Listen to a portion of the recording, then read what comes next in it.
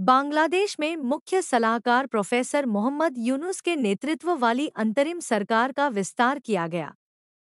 शुक्रवार को उनकी टीम में चार और सलाहकार शामिल हुए। नए सलाहकारों में अर्थशास्त्री वहीदुद्दीन महमूद, पूर्व कैबिनेट सचिव अली इमाम मजूमदार, पूर्व बिजली सचिव मोहम्मद फौजुल कबीर खान और लेफ्टिनेंट जनरल री जहांगीर आलम चौधरी हैं। इन चार के साथ अंतरिम सरकार की सलाहकार परिषद में सदस्यों की संख्या 21 हो गई।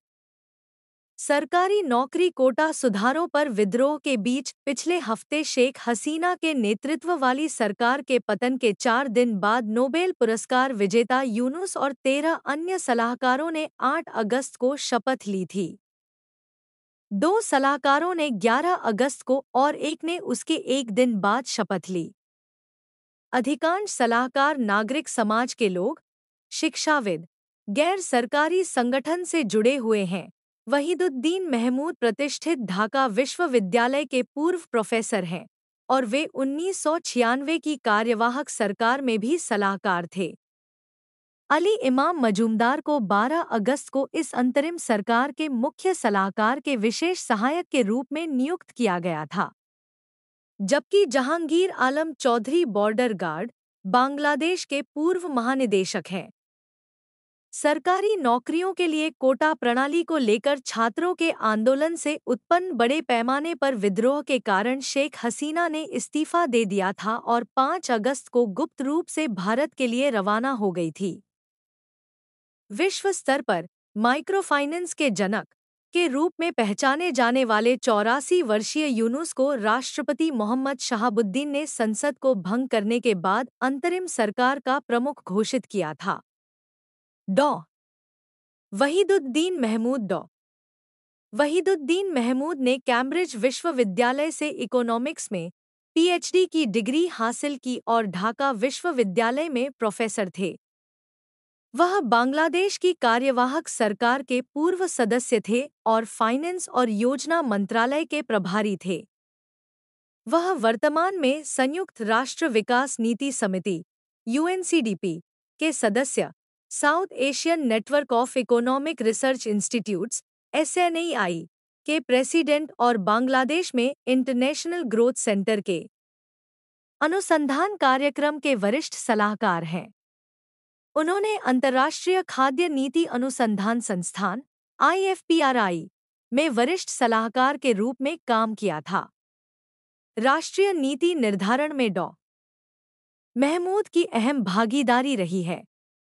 नोबेल शांति पुरस्कार विजेता मोहम्मद यूनुस के साथ उन्होंने पल्ली कर्मा सहायक फाउंडेशन पीकेएसएफ की स्थापना की और वह इसके साल 2003 से 2013 तक अध्यक्ष रहे। यह बांग्लादेश में एमएफआई एनजीओ के माइक्रोफाइनेंस कार्यक्रमों के वित्तपोषण के लिए एक शीर्ष संस्थान है।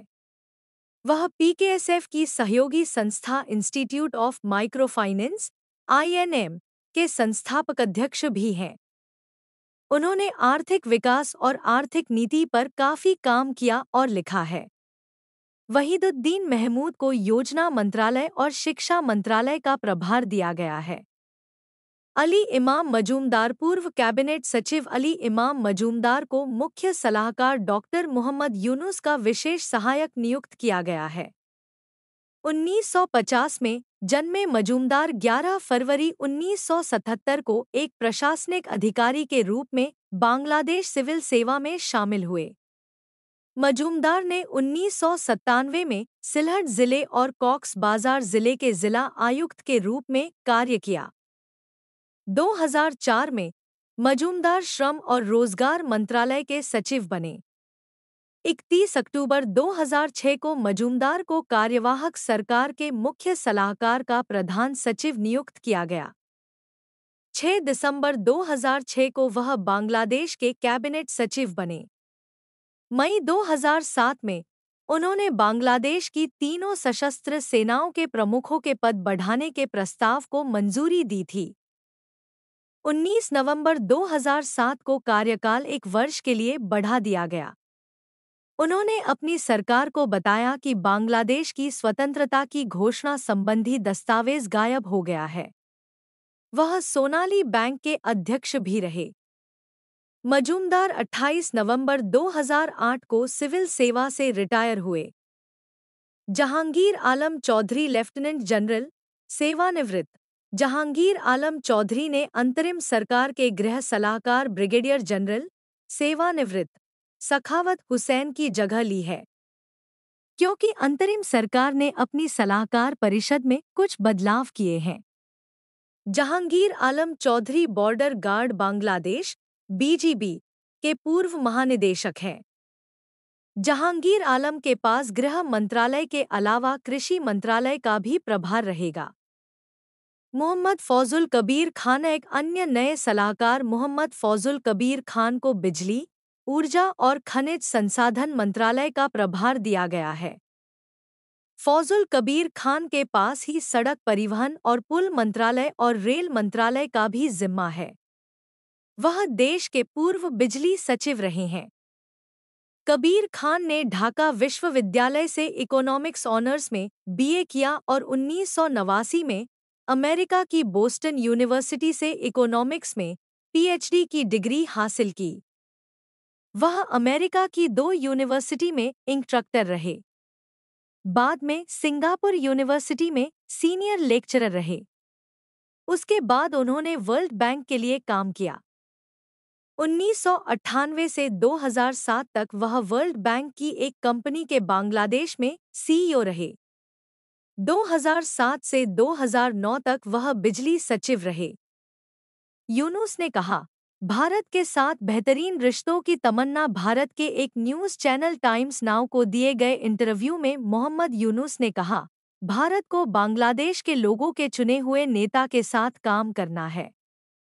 हमारे और भारत के बीच रिश्ते बेहतरीन होने चाहिए ना कि ऐसा रिश्ता जिसमें हम दोनों एक दूसरे को शक की नज़र से देखें। बीबीसी हिंदी की एक रिपोर्ट के अनुसार बांग्लादेश में उच्चायुक्त रही वीना सीकरी ने कहा, प्रोफेसर यूनुस को विदेशों में सभी उनके काम के लिए जानते हैं। हमें देखना होगा कि आने वाला समय भारत और बांग्लादेश के लिए कैसा होगा। प्रोफेसर यूनुस के शपथ लेते ही पीएम नरेंद्र मोदी ने तुरंत बधाई दी। ये बताता है कि बांग्लादेश में जो भी सत्ता में हो, भारत उसके साथ काम करना चाहता है।